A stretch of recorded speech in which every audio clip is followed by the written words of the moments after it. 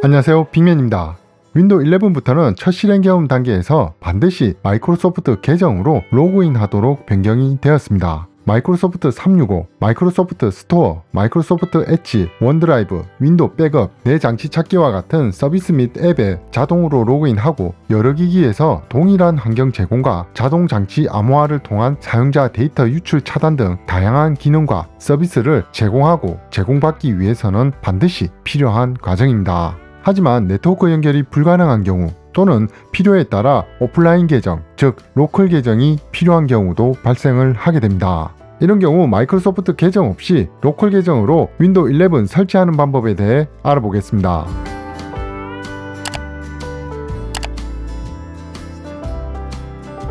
첫 번째 방법은 윈도우 11이 네트워크에 연결되어 화면과 같이 어쩔 수 없이 마이크로소프트 계정을 요구하는 단계로 진입한 경우입니다. 이런 경우 메일 주소 입력 필드에 대소문자 상관없이 알파벳 A를 입력하고 다음을 클릭합니다. 암호 입력 필드에서 대충 한자 이상 입력하고 로그인을 클릭합니다. 다음 화면에 오류가 발생했습니다 라고 메시지가 표시되고 아래쪽 상세 내용에 나중에 다시 시도해보세요 라고 메시지를 띄우게 되면 준비가 완료된 것입니다.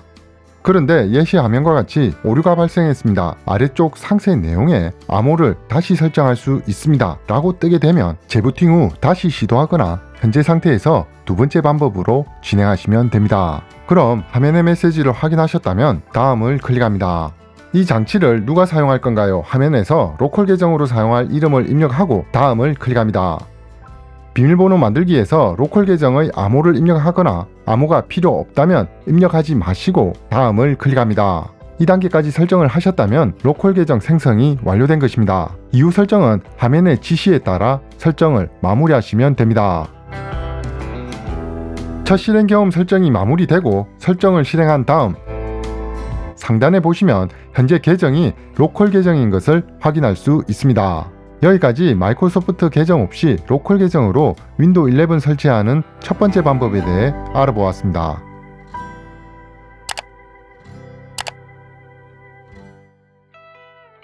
두 번째 방법은 첫 번째 방법에서 실패한 경우뿐만 아니라 모든 상황에 적용할 수 있는 방법입니다. 앞서 이야기했듯이 윈도우 11은 마이크로소프트 계정으로 로그인을 강제적으로 요구하고 있습니다. 그런데 네트워크에 연결할 수 있는 환경이지만 윈도우 11의 기본 장치 드라이버에 네트워크 장치에 해당하는 장치 드라이버가 없는 경우 또는 네트워크 장치는 인식했지만 네트워크 연결을 할 수 없는 환경이라면 문제가 발생을 하게 됩니다. 화면과 같이 네트워크 장치가 없거나 인식하지 못한 경우 또는 유무선 네트워크에 연결이 안 된 경우 네트워크에 연결 화면이 뜨게 됩니다.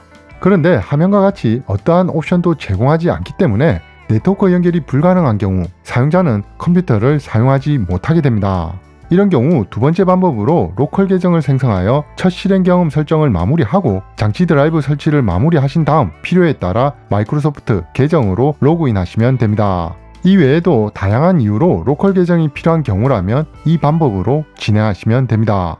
그럼 먼저 컴퓨터 본체에 유선 네트워크가 연결되어 있다면 케이블을 제거합니다. 그리고 첫 실행 경험 화면에서 Shift 키와 F10 키를 함께 누릅니다. 만약 첫 번째 방법에서 넘어오신 경우라면 마이크로소프트 계정 추가 화면에서 실행하셔도 됩니다. 그럼 화면과 같이 명령 프롬프트 창이 실행됩니다. 여기서 화면의 명령줄을 입력합니다. 입력하셨다면 엔터키를 눌러 실행합니다. 그럼 자동으로 재부팅하고 첫 실행 경험 단계가 시작됩니다. 먼저 국가 설정과 키보드 입력 방법을 설정합니다. 그리고 네트워크 연결 창을 보시면 보이지 않았던 인터넷에 연결되어 있지 않은 옵션을 확인할 수 있습니다. 이 옵션을 클릭하고 다음 화면에서 제한된 설치로 계속을 클릭합니다. 이 장치를 누가 사용할 건가요? 화면에서 로컬 계정으로 사용할 이름을 입력하고 다음을 클릭합니다. 비밀번호 만들기에서 로컬 계정의 암호를 입력하거나 암호가 필요 없다면 입력하지 마시고 다음을 클릭합니다. 2단계까지 설정을 하셨다면 로컬 계정 생성이 완료된 것입니다. 이후 설정은 화면의 지시에 따라 설정을 마무리하시면 됩니다. 첫 실행 경험 설정이 마무리되고 설정을 실행한 다음 상단에 보시면 현재 계정이 로컬 계정인 것을 확인할 수 있습니다. 여기까지 마이크로소프트 계정 없이 로컬 계정으로 윈도우 11 설치하는 방법에 대해 알아보았습니다. 영상이 도움이 되셨다면 구독과 좋아요 부탁드립니다. 영상 제작에 큰 힘이 됩니다. 지금까지 빅맨이었습니다. 감사합니다.